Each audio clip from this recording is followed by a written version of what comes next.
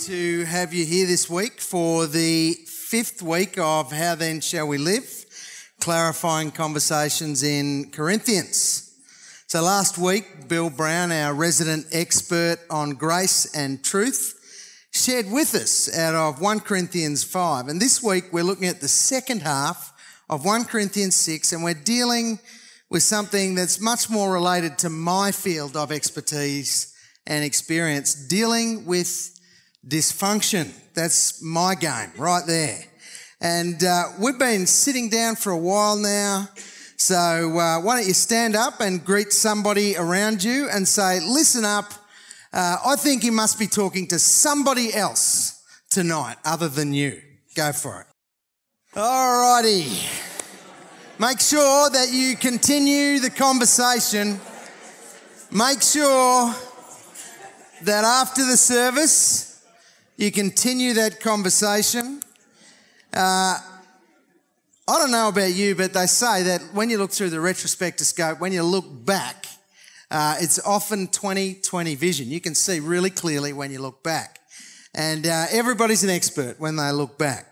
Sometimes when we uh, look back and we wonder, what on earth was going through their minds? There are, it seems, a lot of bad ideas that seem like such a good idea at the time. Great idea around uh, the turn of the 20th century was this one asbestos pipes. Millions have been sold and in daily use throughout the civilized world. That's a real ad. Ingenious, don't you reckon? Asbestos pipes, just in case the tobacco doesn't get you. I reckon I've got to get me one of those. But it gets better. 30 years down the track, they'd woken up to themselves and people had moved on to a far safer product. 20,679 physicians say that Luckies are less irritating. It's toasted, your throat protection against irritation and against cough. Probably not against cancer. But if 20,000 physicians are saying it, it must be true. So many good ideas. And while we're on the subject of cigarettes, have a look at this one. These are beauties. Doctor's Choice, the quality blend, candy cigarettes. Awesome. And then the other one's just like dad. Candy cigarettes for your kids. What a great idea. I showed Joanne uh, these ads and, and uh, we had a look at the candy cigarettes and she said, and I reckon she was accurate about this, it makes you wonder what other popular things we'll look back on and gasp in horror? What things we do and are into today that we'll look back on and go, what on earth were we thinking? So much information and so little time to process it. Not every idea we hear is a good one. Not every practice or habit is a healthy one. And yet, good, bad, or ugly, we continue to accumulate them, accumulate ideas as the world around us continues to inform and influence us, what should we take on? And what should we not? I reckon this has been a question for followers of Jesus all the way down the ages. What's good? What's not? What should we take? What should we not?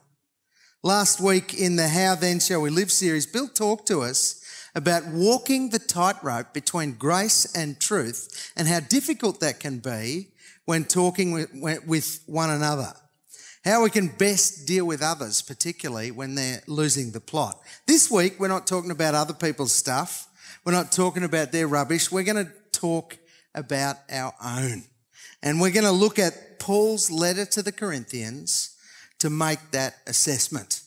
The Corinthians were in a world of hurt morally. All sorts of stuff was going on in and around the Corinthian church. As part of a depraved society, it seems that the Corinthian church and had very much adopted the morals and the ideals of the world around them. And Paul calls them to a different standard. And in doing this, he finds himself heavily critiquing their actions and behavior. And in no uncertain terms, Paul exhorts the Corinthians to live by a different standard. He encourages them to take up life the life that they're called to, a life in Christ, in the world, but not of it. If we listen to Paul's words, uh, they can be particularly helpful in the world that we live in. I reckon in a world that is extraordinarily assertive about its own version of morality, the question to ask is how can we live, how can we listen and respond to the voice of Jesus? There's so many other voices that we are exposed to in any given day, in any given week. How can we hear Jesus and respond to him in it? As followers of Jesus, how can we get on board with his view of life? And how can we be active and useful participants in the world, but not become victims morally, spiritually, or intellectually? Little warning before we open the word this evening. Paul's words to the Corinthians are not easy to hear, okay? So fasten your seatbelts. He confronts them openly and honestly about their situation, and then he gives them an M rated assessment of their behaviors and practices. It's going to be, you're going to be shocked, I think, about how badly the Corinthians had lost the plot. But I'm not really that worried about them this evening. I'm much more worried about us. I'm much more concerned about what we hear from God. So why don't we pray together before we open the word? Lord, I ask that as we open your word tonight, that you might enable us to hear you. Lord, we bring lots of stuff in here, all of us. And God, I'm just asking that you cut through all of that tonight and that you'd speak directly to each one of us. And I include myself in this. And I ask this in the name of Jesus. Amen. Well, a number of years ago, I was in Indonesia on a missions trip. And uh, I was with a bunch of other pastors, and uh, one of the places that we stayed was near the equator, and it was hot. And I don't know about you, but I haven't got a very good cooling system in my body. So when it's hot, I just sweat like a water buffalo. I just, like, it's bad. I get really hot, really sweaty. And here we are, we're up on the equator, and uh, we're sweating it out, and uh, it's not pleasant. Um, one day, one of the, pa- the other pastors and myself wandered down to a nearby beach and we asked a local if it was okay to swim. And they said yes. Now, I've got a picture of the beach. I think this is the beach we went to. Uh, this this is looks identical to the beach that we went to. It was beautiful, a stunning, stunning beach. And so uh, they said it was safe, so we were hot and sweaty and we didn't need any further invitation. So in we went. The water was cool, but not too cool. And it was unbelievably refreshing as we made our way out. And uh, it was pretty shallow, so you, we were. Uh, we could swim a few hundred meters offshore and I could still stand on the bottom. So it was quite shallow, let's be honest. Um, I was able to stand up about 300 metres offshore. So we, we get out there, we swim out, and we're enjoying it. And then we're just standing offshore. I'm up to my shoulders. He, he's not, but I am. And it's just beautiful. And we're standing there and we're yakking away in this just idyllic place with this, in this beautiful uh, beach. And a brown slick passed by me about a metre on my right. And I looked at it and I didn't think much about it. And then a couple of minutes later, as we just kept chatting, uh, another brown slick went past, and this time there was an unmistakable smell to it.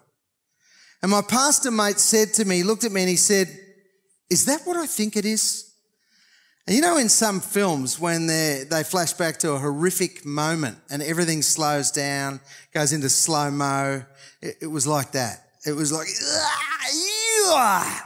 in that particular moment, uh, me and my mate realised with horror that we were swimming in the direct path of raw sewage coming out of the houses about half a K up the beach. And it was not a pleasant realization, I've got to tell you. We almost walked on water back to the shore. We were moving that quickly. Seriously, it was quick. And needless to say, on the way in, we did not submerge our heads once on the way in. We did on the way out, but not on the way in. And we were sick for days. My mate was violently ill and uh, we almost had to put him on a plane home. He was so sick. I want to say that not everything that looks good is good. And not everything that feels good is good. Freedom at its cracking best is never without boundaries and guidelines. We were free to go swimming that day, but we were not wise to. At least it was only ignorance in play. It would be stupidity, would it not? We didn't know what was in the water, but wouldn't it be stupid if we did know what was in the water and the had said, Yeah, you can go swimming in that, there's raw sewage in there, and we had to said, Yeah, okay, we're going in anyway. That would be stupidity, would it not? The Corinthians had a terribly flawed understanding of freedom, and many of them were declaring Christ as Lord, but not living out the full benefit of that in their lives. In actual fact, the number one excuse that the Corinthians give for their dysfunction is freedom. And Paul doesn't have a bar of it. He's not interested in that idea at all. He takes on their faulty theology head on. He says to them, I have the right to do anything you say, but not everything is beneficial. I have the right to do anything, but I will not be mastered by anything. Most scholars seem to agree with Gordon Fee that this little phrase, it's like a what would Jesus do phrase, it's a theological slogan. It's the little slogan that the Corinthian church used to roll out. Because when Paul was talking about the kind of meat you ate and meat offered to idols and that sort of stuff, he was talking about a very specific issue. One of the words he used around that was you can use your freedom. But they used to use that for everything. They grabbed that and they ran with it. They turned it into a slogan and they began to say about everything that I got the right to do anything. I can do anything I like. Paul takes it on and he, he gets pretty fiery about it. Back to our little Indonesian experience. In fairness, if we had, we, we did ask the local the wrong question. We did ask, can we swim at this beach? Yes, you've got the right to do anything. What we didn't ask is, should we swim at this beach? To which the answer would have been no, because not everything is beneficial. Understand this making a great decision about what to do and what not to do has very little to do with our initial perception of it. What we desperately needed at that time was an accurate perspective. A perspective that took us beyond what we felt like we were hot and we were sweaty and we were in the mood for a swim. We needed a perspective that helped us to see beyond the immediate lure of the water and actually make an intelligent decision. Paul offers a perspective just like that to the Corinthian church. There's a significant indication in the text here that the Corinthians were choosing to remain with the sins of the past and they were trying to justify themselves in it. They were trying to say, it's okay, lower the bar, you know? Uh, it's all right, uh, everything is okay. An idea that was deeply ingrained in, the, uh, in Greek philosophy was the idea that the body and the soul were completely different entities. They were completely separate. Uh, one philosopher said, I'm a poor soul, soul shackled to a corpse. In Greek thinking, the important thing was the soul. You've got to look after the soul, the spirit of a person. But the body was a thing that actually didn't matter at all. It produced two uh, different types of attitudes. One of them was a rigorous sort of asceticism, you know, beat yourself and make yourself feel bad, get rid of the bad stuff out of your body. Or the one in Corinth that was prevalent, the one that they took, the perspective that they took, was that since the body was of absolutely no importance, you could do whatever you liked with it. For neither the body nor the soul could impact each other. That's how they felt. How convenient. So those that had been seeing prostitutes before they became Christians were saying things about their behavior with prostitutes. I'm free to do anything. Anything is permissible. And so Paul spends most of his time between verse 12 and 20 trying to convince them that sleeping with prostitutes is incongruent with following Jesus. Oh, I don't know about you, but I'm just, really? How the heck did they get there with that? How on earth did they get to a space where that was okay? I don't know about you, but but that troubles me deeply that believers can lose the plot that badly. Paul says this He says, Do you not know that your bodies are the members of Christ Himself? Shall I take the members of Christ and unite them with a prostitute? Never. So, those little words, members of Christ, actually refers to the idea of the body of Christ. When you sin, you know, we live in this, this individualist sort of world, and we think that when we sin, it's just us that's impacted. We think that when we blow it, when we muck around, nobody knows about it, it's just me that's impacted. No, it's not. It's the whole body of Christ that's impacted. You ask those uh, Catholic parishioners that went to the churches of those priests who abused children whether they're impacted by the behind the scenes behavior of those guys. Don't think for a second that we do this in isolation. The members of the body of Christ and unite them with a prostitute. Uh, never, says Paul. So we go back to this idea of what on earth happened for the Corinthian church to think that sleeping with prostitutes is okay. Like, seriously, how did they get there? For us, trying to justify sleeping with prostitutes is absolutely outrageous. But we need to remember that prostitution was part, a massive part of Corinthian culture. Shrine prostitutes numbered in the thousands. Prostitution was openly accepted. It was a perfectly normal part of Corinthian society. So rather than forsake these practices, the Corinthian church tried to justify them by saying, I got the right to do anything. Anything, anything is permissible. That's how they justified themselves. Here's the news for those who wish to follow Christ. Society doesn't call the shots on what we should or shouldn't do. Jesus does. Folks, that is part of the deal. That's what we sign up for. When we sign up to follow Jesus, we also sign up to let Him make the calls on what we should or should not do. Immediately before today's passage, Paul had given the Corinthians a perspective that helped them see beyond their immediate temptations. And to do this, he reminded them of their path, past. Halfway through verse 9, he says this Don't be deceived, neither the sexually immoral, nor idolaters, nor adulterers, nor men who have sex with men, nor thieves, nor greedy, nor drunkard, nor slanderers, nor swindlers will inherit the kingdom of God. And that is what some of you were. Paul makes it clear that people in unrepentant sin have no place in the kingdom of God. He also allows the Corinthians to own their past. This is what you were, he says.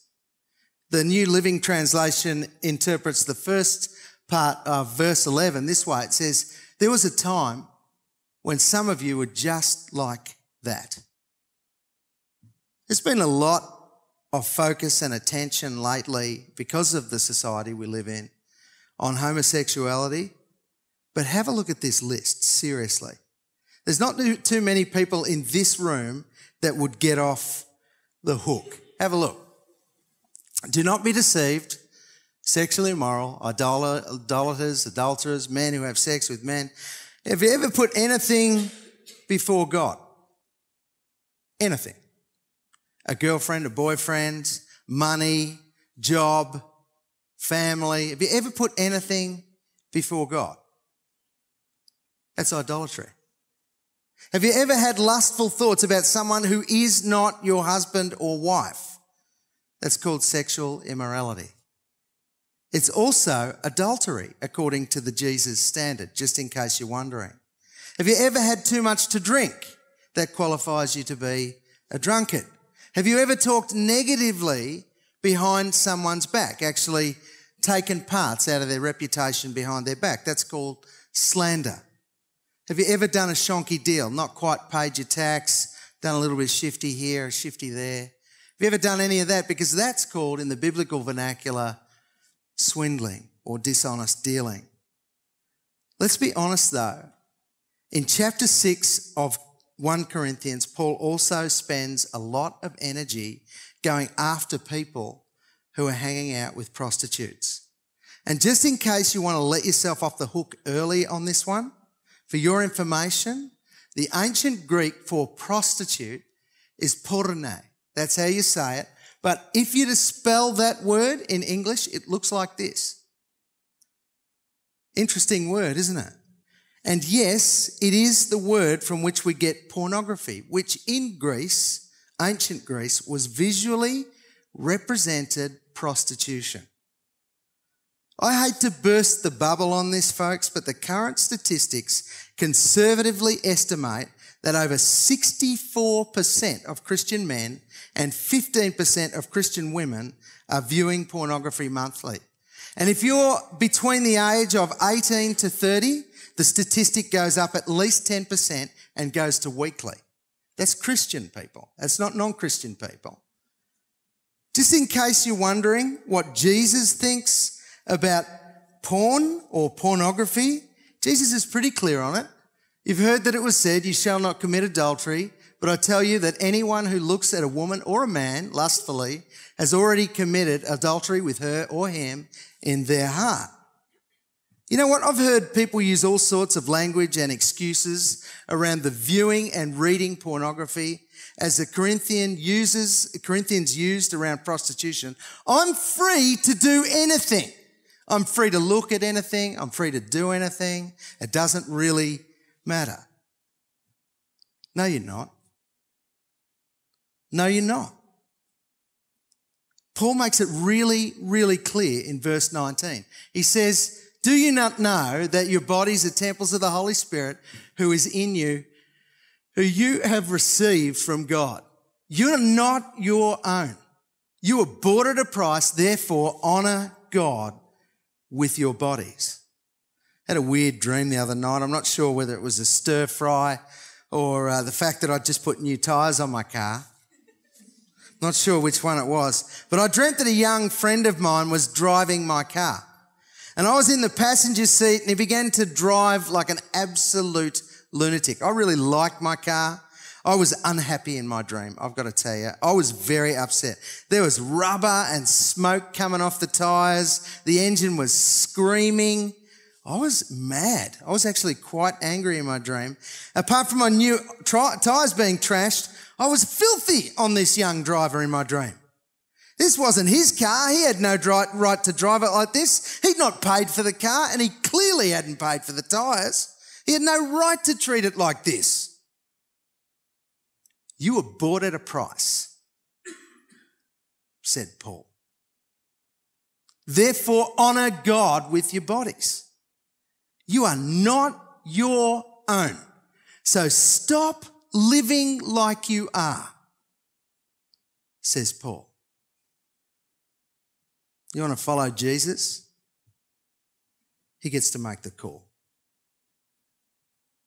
What fascinates me is that I, when I think about our little swim in Indonesia, is that some of us know full well that our temptation is stinky and rancid, but it just looks so appealing sometimes, doesn't it?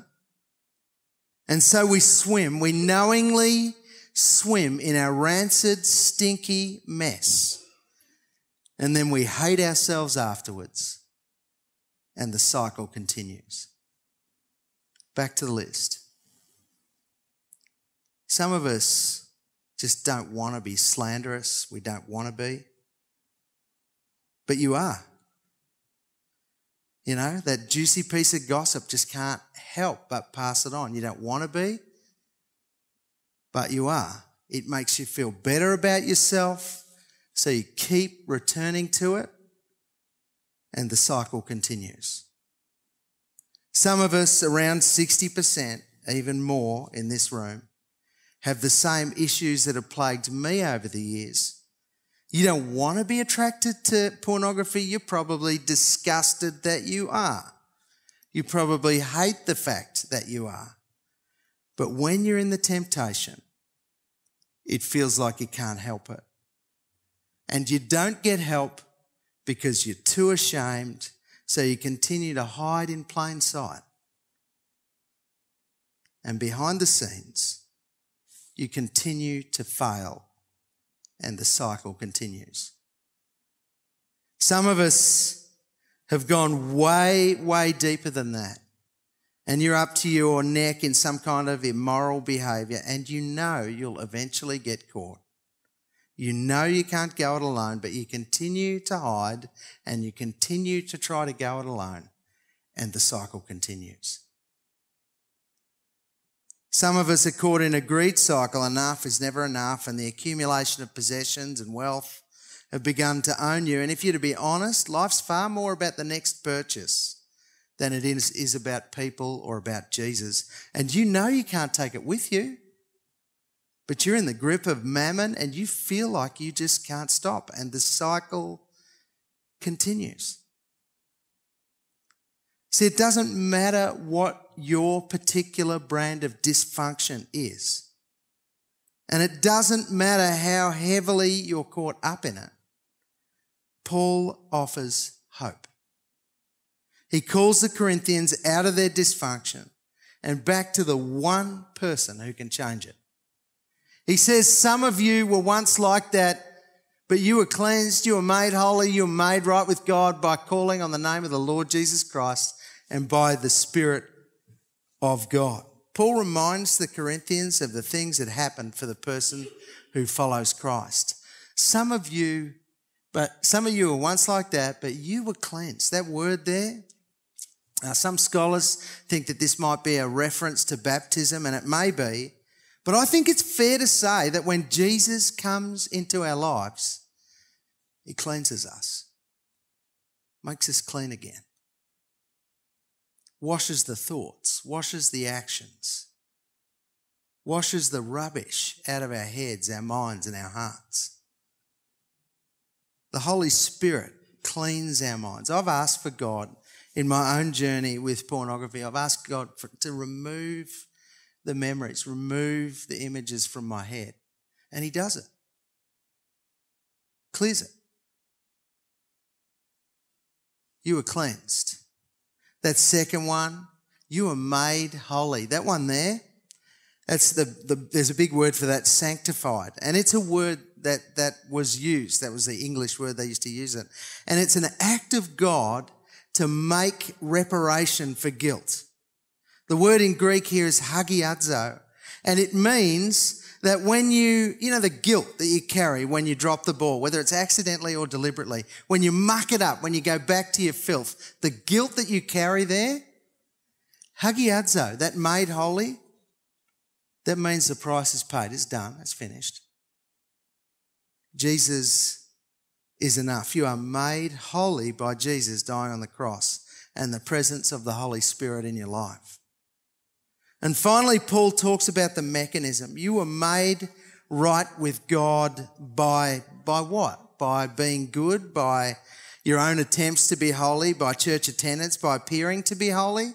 Now, you were made right with God by calling on the name of the Lord Jesus Christ and by the Spirit of our God. Here's a question for you tonight, and I'm going to finish on this. When was the last time you called on the name of Jesus Christ. You know, you can spend the rest of your days trying to be good and trying to make it or trying to justify and trying to lower the bar. Or you can call on the name of Jesus Christ. So Jesus is writhing in agony on the cross, and Luke tells us that the criminal next to him asks him for mercy and it's granted. This criminal has nothing to offer. He's a criminal. He's been a criminal for all we know for his whole life. He has no redemptive feature to bring to the table. He's on a cross and he's on a cross for his own crimes. And he says to Jesus, will you throw me a bone? Will you give me mercy? And Jesus says, yep. He's on the cross. Still says, yep. All we need to do is ask. In a mess this evening? Addicted? Enslaved? Messed up? Broken? Dysfunctional, angry, hurt, afraid? Cry out to Jesus. Some of you are thinking, I just don't deserve it. I've done it too many times and blown it too many times. Little note here Paul doesn't talk about us deserving it, he simply names the mechanism call on the name of Jesus. I've got a prayer for you to pray this evening that will help you do precisely that. And it's a prayer that's been used for thousands of years. It was devised by the ancient church fathers, and it's taken from the prayer of the repentant tax collector in one of Jesus' parables. And it's a really simple prayer. You'll be able to remember. It's very easy to remember. And the fathers suggested that we use this prayer daily, hourly, or minutely according to our needs. This prayer is a prayer of repentance, but it's a prayer that is also a cry for help. So we can use it this evening, and then you can use it for the rest of the evening or the week as required. You can use it for the rest of your life. It's easy to remember, and it also, I've discovered, happens to be a great disruptor for temptation. And the shortened version goes like this it's called the Jesus Prayer. And a shortened version of it is Lord Jesus, Son of God, have mercy on me. The longer version says, have, have mercy on me, a sinner. But I think we already know that, don't we? I kind of like this one because it's also aspirational. Kind of like what they've done with it. As we come to communion tonight, and as the stewards come up and prepare, we're going to pray that prayer. Communion, as outlined by Jesus, is a time to remember. On the night that he's betrayed, the Lord takes the bread and he gives thanks for it, and then he breaks it into pieces and he says, This is my body given for you. Do this in remembrance of me. When you take the bread tonight, bring your stuff before him. Is it not time to be honest with Jesus? Stop lowering the bar, stop pretending it's not real, stop pretending that it's not there, and actually be honest. So when we take the bread tonight, I want you to just bring some stuff before Him. Just come before Him and pray that little prayer. Actually, just pray the little prayer Lord Jesus, Son of God, have mercy on me. And as we take the cup, Hang on to it. And then I'm going to lead you in a really short little prayer time. And then we'll drink together. So, bread, pray the prayer, hang on to the cup, and I'll talk to you then. At the Last Supper, Jesus took the wine and he said, this is my blood of the covenant, which is poured out for many for the forgiveness of sins. Drink in remembrance. Why don't we drink together in remembrance?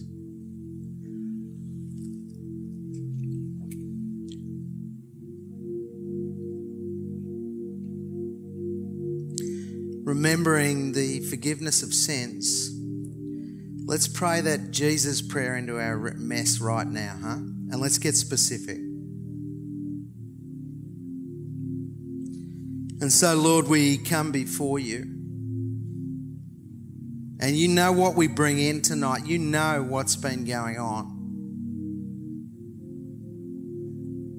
Lord, for those of us that have lowered the bar who know wrong and still continue to do it, for those of us that have lowered the bar and said everything's permissible, everything's okay for me to do, we ask for forgiveness.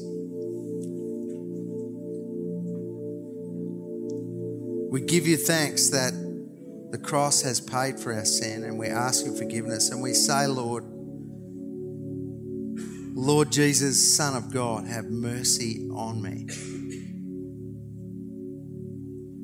Why don't you just bring whatever it is that's your thing to Jesus right now?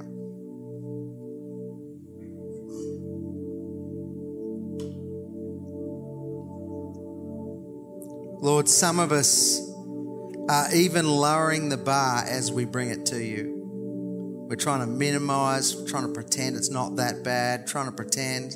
And Lord, what's offensive is that we don't find it offensive.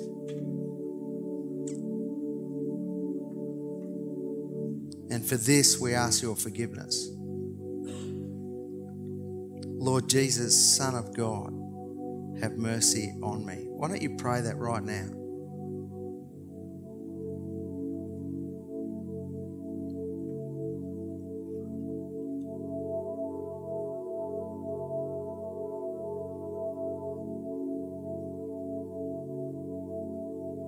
And Lord, for some of us, we're just so desperate and broken and wrecked. We don't know how to change. We want to change, but we don't know how to change. And so, God, we come before you and we ask with genuine hearts, Lord Jesus, Son of God, have mercy on me. Show us the way.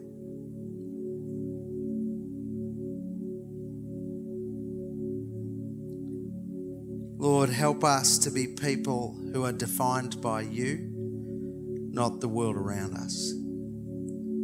Help us to be people who live out the reality of your power and your spirit more and more. Lord Jesus, Son of God, have mercy on us. And we ask these things in the name of Jesus. Amen.